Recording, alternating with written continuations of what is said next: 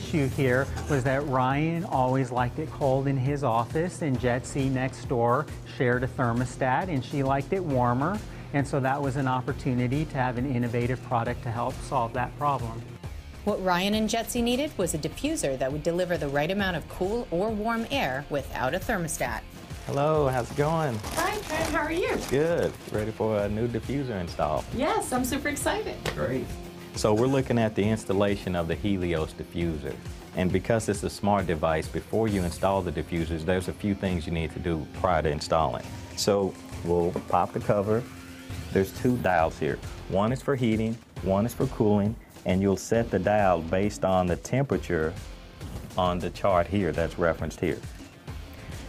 Also, we have the wireless thermostat version. You will move the wireless antenna out here, close the cap, and the product's ready for installation.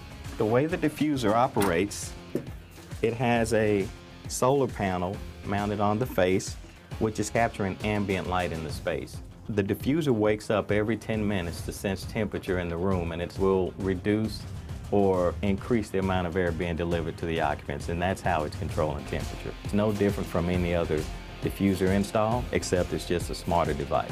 Hey, Trent, can you pass me the grille, please? Yeah, you got it. Helios is wireless for simplicity, light powered for economy, and digitally logical for